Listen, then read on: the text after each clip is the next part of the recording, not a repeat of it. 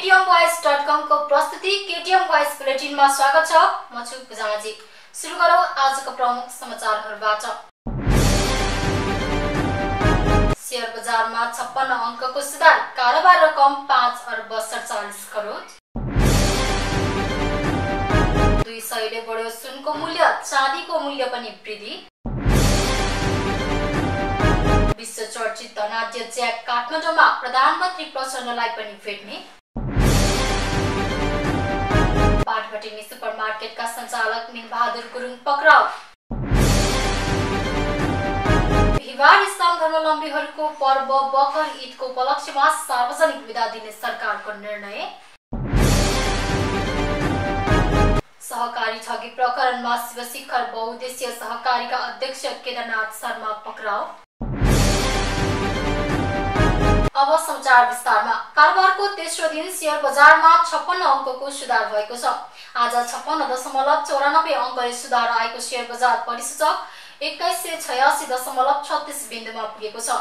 मङ्गलबार दुई सय पचहत्तर कम्पनीका एक करोड एकतिस लाख सात हजार अस्सी किता सेयर खरिद बिक्री हुँदा पाँच अर्ब सडचालिस करोड बैसठी लाख सतासी हजार सात सय चालिस रुपियाँको कारोबार भएको छ। त्यस्तै आज क वर्गका कम्पनीको मापक सेन्सेटिभ इन्डेक्स पनि बढेको छ। आज तेह्र दशमलव चालिस अङ्कले बढेको सेन्सेटिभ इन्डेक्स चार सय बाह्र दशमलव एकाउन्न बिन्दुमा पुगेको छ। नेपाल सुन चाँदी व्यवसायी महासङ्घका अनुसार सुन चाँदीको मूल्य बढेको छ। सोमबार प्रतितोला दुई सय रुपियाँले बढेको सुनको मूल्य आज पनि प्रतितोला दुई सय रुपियाँले नै बढेको हो।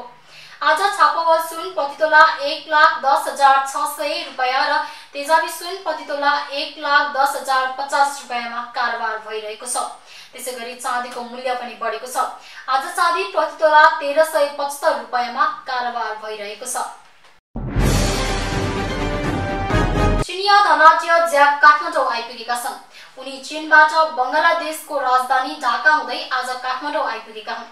काठमाडौँ आएको समयमा उनले प्रधानमन्त्री पुष्पकमल दाहाल प्रचण्डसँग पनि भेट्नेछन्। उनी ई कमर्स कम्पनी अलिबाबाका संस्थापक समेत हुन्। केही समय अघि उनको सम्पत्ति त्यहाँको सरकारले राष्ट्रियकरण गरेको थियो। अलिबाबाको स्वामित्व नेपाली ई कमर्स कम्पनी दराजमा समेत छ। भाटपाटिनी सुपरमार्केटका सञ्चालक मिलबहादुर गुरुङ पक्राउ परेका छन्। उनलाई मङ्गलबार प्रहरीको केन्द्रीय अनुसन्धान ब्युरो सिआइबीको टोलीले नक्साल स्थित निवासबाटै पक्राउ गरेको हो। बालुवाडार स्थित ललिता निवासको सरकारी जग्गा व्यक्तिको नाममा ल्याउने प्रकरणमा नाम मुछिएका गुरुङ विरुद्ध विशेष अदालतमा मुद्दा दायर भएको थियो। अख्तियार दुरुपयोग अनुसन्धान आयोगले ललिता निवासको जग्गा हिनामिना प्रकरणमा पूर्व उप प्रधानमन्त्री पूर्व मन्त्री तत्कालीन आयोगका आयुक्त सहित एक सय पचहत्तर जना विरुद्ध दुई हजार छयत्तर मङ्सिरमा विशेष अदालतमा मुद्दा दायर गरेको थियो। उक्त मुद्दामा भातभटिनीका सञ्चालक गुरुङमाथि अख्तियारले उन्चालिस करोड सत्ताइस लाख रुपियाँ बिगो दावी गरेको छ। गुरुङले सो जग्गालाई स्टोरको रूपमा प्रयोग गरेका छन्। नेपाल सरकारले बिहिबार सार्वजनिक बिदा दिने भएको छ। मङ्गलबार गृह मन्त्रालयले एक सूचना जारी गर्दै इस्लाम धर्मावलम्बीहरूको पर्व बकर ईदको उपलक्ष्यमा सार्वजनिक बिदा दिने निर्णय गरेको हो।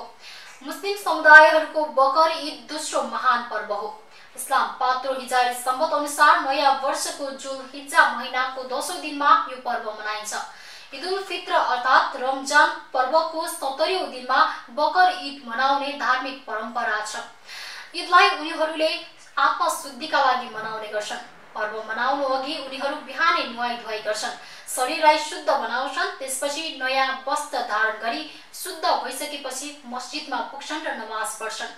त्यसपछि एक अर्कामा अङ्कमाल गर्दै शुभकामना आदान प्रदान गर्छन्। सहकारीका बचतकर्ताको करोडौँ रकम हिनामिनाको आरोप लागेपछि फरार हुँदै आएका भक्तपुरको शिवशिखर बहुद्देश्य सहकारी संस्थाका अध्यक्ष केदारनाथ शर्मा पक्राउ परेका छन्। प्रहरीको केन्द्रीय अनुसन्धान सहकारीका बचतकर्ताको करोडौँ रकम हिनामिनाको आरोप लागेपछि फरार हुँदै आएका भक्तपुरको शिवशिखर बहुद्देश्य सहकारी संस्थाका अध्यक्ष केदारनाथ शर्मा पक्राउ परेका छन्। प्रहरीको केन्द्रीय अनुसन्धान ब्युरो सिआइबीले उनलाई पक्राउ गरी काठमाडौँ ल्याएको छ। सिआइबीका प्रहरी उपरीक्षक नवराज अधिकारीले उनलाई पश्चिम नेपालबाट पक्राउ गरेको बताएका छन्। अध्यक्ष शर्मा यसअघि भारतका विभिन्न स्थानबाट टुक्कीछिपी बसिरहेका थिए। शिवशिखर सहित मोरङमा गएर उनले तुलसी सहकारी पनि खोलेका थिए। दुवै सहकारीका बचतकर्ताको ठूलो रकम उनले कानुन विपरीत आफ्ना विभिन्न कम्पनी तथा फार्महरूमा लगाएको प्रहरीले जनाएको छ। बचतकर्ताले आफ्नो बचत फिर्ताको माग गर्दा नदिएपछि उनी र सञ्चालक विरुद्ध सहकारी विभाग र सिआइबीमा उजुरी परेको थियो। सोही उजुरीका आधारमा केही व्यक्ति यसअघि नै पक्राउ परिसके पनि उनी भने फरार रहेका थिए।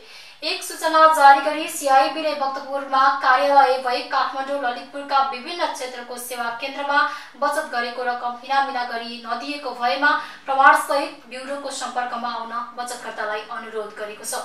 हस्त आजलाई केटिएम भोइस डट कमको बुलेटिन यति नै। बिदा चाहन्छु। नमस्कार।